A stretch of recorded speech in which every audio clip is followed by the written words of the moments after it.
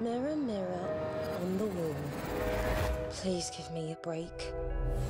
Guess I'm still not in the grave. Pretty far from the cage you left me. A big part of this has to come from you. Knowing your own body, respecting the recovery plan.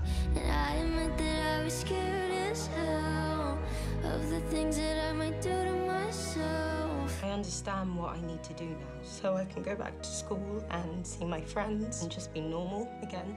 Mia, how are you? You know how it is. No, I don't. I've never been to a mental hospital. These are the greatest people of all time. Score! How can I have missed so much in seven months?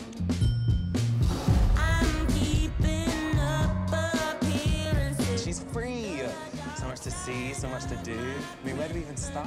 I was thinking maybe the cinema or the skate park. Oh, we haven't gone there in like forever.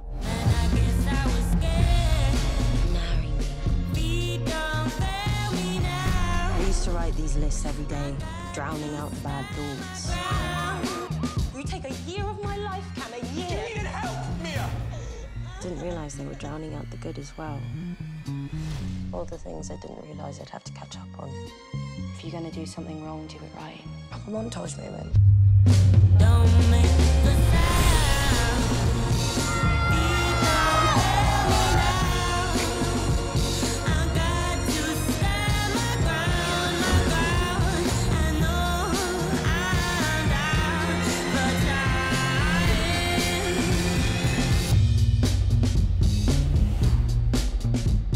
my feet.